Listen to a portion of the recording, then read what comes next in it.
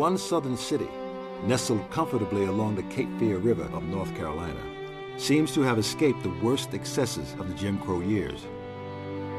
Wilmington seemed to be a racially moderate city, a condition brought about by economic prosperity and a strong black and white middle class. The best feeling among the races prevailed in Wilmington. The Negro and his white brother walked their beats on the police force.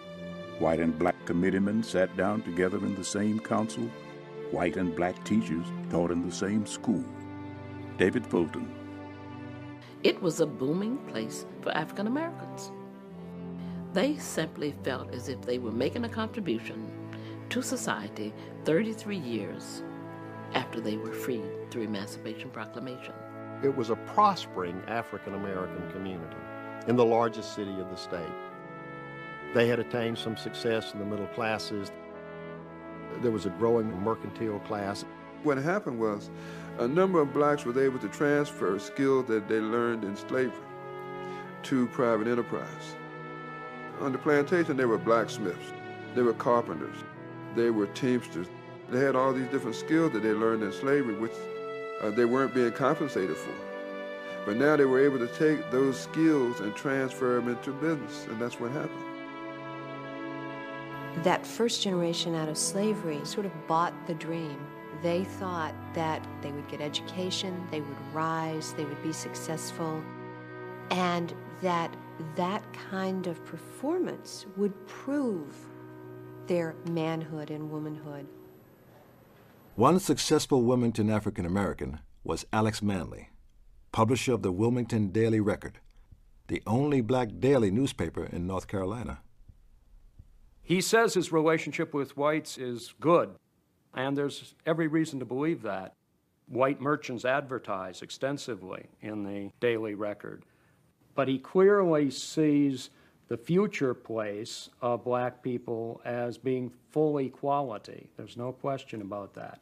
And he's constantly encouraging them to become equals economically, politically, socially, culturally. There were many whites who were poverty stricken, but there were many blacks who had very good paying jobs. Of course, they had their carriages and their nice dress, and they would shop, and they felt as if they had come a long way. And they were beginning to feel themselves in a prideful sort of way, and I, I think to a degree in an arrogant sort of way. So there we had much tension created. How dare you think that you are so much better than I am? It's partly economic competition, but it's also a, a, a grave concern that black people are beginning to feel the equals to white people. White people became quite alarmed because if they were going to subjugate black people, they had to prove that no black person was capable of the things that these people were doing. Blacks had attained a good deal of power in Wilmington in 1898. They were the majority of the population and of the voting population. Many of the blacks at that time held elected positions and very prominent municipal positions. They were appointed by the Republicans. Most of the Republicans at that time were black. Justices of the peace, aldermen, magistrates, firemen, public health workers, even though these might not appear to be very high prestige positions, at least they were examples to the black community and particularly to the youth of what black people could be. Whites were fearful that the African Americans would begin to control the city of Wilmington since they were in the majority. We have to look at two very basic issues. You have to look at politics and you have to look at economics. And whoever controls those two are in power. And it was all about power, about political power and economic power. In the statewide and local elections of 1898, the Democratic Party, the party of white supremacy, was determined to end black political power in North Carolina. It will be the meanest, vilest, dirtiest campaign since 1876. The slogan of the Democratic Party, from the mountains to the sea, will be but one word nigger. Daniel Schenck, Democrat. They argue that only the Democrats can save North Carolina from what they call Negro rule. Furnifold Simmons, who would go on to be a United States Senator, Charles Aycock, who would go on to be governor of North Carolina, and Josephus Daniels, who was editor of the Raleigh News and Observer. The three of them got together in a hotel and hatched a campaign that would talk about white women being endangered by black men holding office. The white press portrayed blacks as monsters, representing them as an incubus, a mythical figure that raped women while they slept. White women appeared in parades, on floats, in white dresses, holding up signs saying, Protect us. Manly's blood boils, and he dashes off his own editorial that conservative black people in Wilmington considered to be a truth unwisely said. The crowning thing that hit the white psychic nerve center was the very last sentence of the editorial where he says, if white men continue to initiate sex with black women, sooner or later white women are going to start to do the very same thing with black men. And that was not the political thing to say. Uh, that just drove white men absolutely crazy. A former Confederate officer, Alfred Waddell, called for violence. We are resolved to change the conditions under which we live if we have to choke the Cape Fear River with carcasses. White employers are threatening to fire black employees who register to vote. So there's massive economic intimidation going on. An organization of black women urged black men to vote or risk disgrace. Every Negro who refuses to register this next Tuesday in order that he may vote, we shall make it our business to deal with him in a way that shall not be pleasant. He shall be branded as a white livered coward who would sell his liberty. Blacks meant to win by legal means, whites by any means. We shall win tomorrow if we have to do it with guns. If we have not the votes to carry the election, we must carry it by force. If you find a Negro voting, tell him to leave the poll. If he refuses, kill him.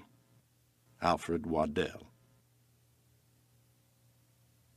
Despite all the intimidation, many, many black voters were turning out and were voting. So the word goes out from Democratic headquarters that if we can intimidate the black votes and get a majority that way, we will simply stuff the ballot boxes. And that's exactly what they do. Every black candidate in North Carolina was defeated. But in Wilmington, the political victory did not satisfy white anger. A mob set Manly's newspaper on fire, and every black official was driven out of office. They could not wait until it was time for the change of office to take place. They decided to take control of everything. It was basically a coup. They just took the offices away from the duly elected office holders. So there are no longer any black officials in Wilmington city government. The coup was followed by a massacre. Firing began, and it seemed like a mighty battle in wartime.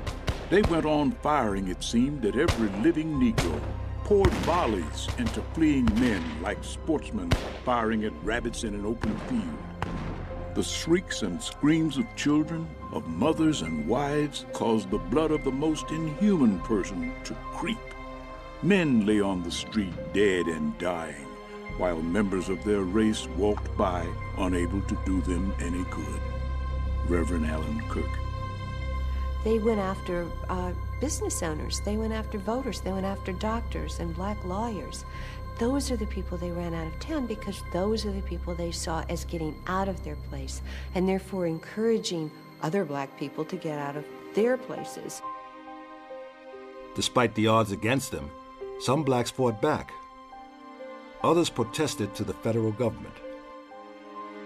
Blacks from all over the United States wrote letters to the President of the United States begging him to intervene and to stop the violence and the killing in Wilmington. President William McKinley remained silent.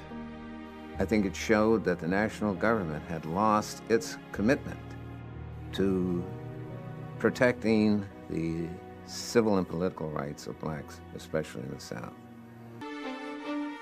The destruction of black political power in North Carolina unleashed a wave of racial discrimination triumphantly announced in newspapers and printed on postcards. Facilities that were once integrated were now legally segregated.